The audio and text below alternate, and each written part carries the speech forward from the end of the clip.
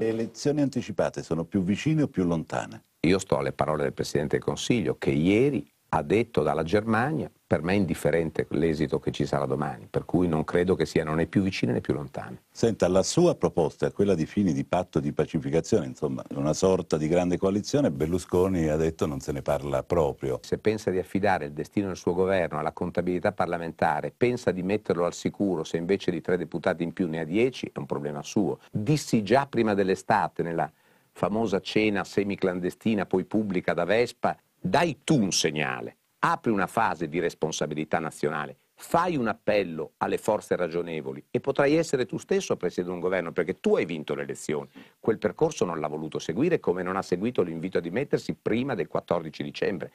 Ognuno risponde delle sue scelte, sono le sue, non le mie. Onorevole Casini, mai con il Partito Democratico, anche se il PD rinunciasse ad allearsi con Vendola e Di Pietro?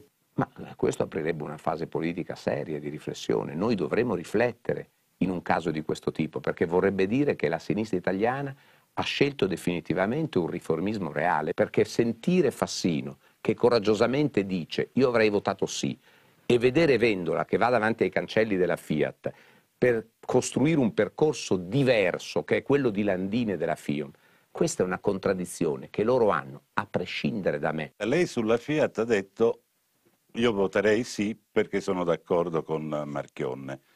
Ma il presidente Berlusconi ha detto anche lui, io sono d'accordo con Marchionne, ma se vincessero i no, farebbe bene Marchionne ad andare via dall'Italia. Lei la pensa come Berlusconi? È una frase sbagliata, ma il rischio vero che Marchionne se ne vada dall'Italia, questo c'è. C'è un grande, una grande tensione sociale oggi nel Paese, per cui io non santifico Marchionne, ma prendo atto che i processi produttivi cambiati oggi offrono opportunità di traslocare a tante aziende. Credo che questo sia pericoloso per l'Italia, per questo avrei votato sì e voterei sì a questo referendum. Dopodiché credo che non possiamo correre un rischio, che in mancanza della politica decida Marchionne.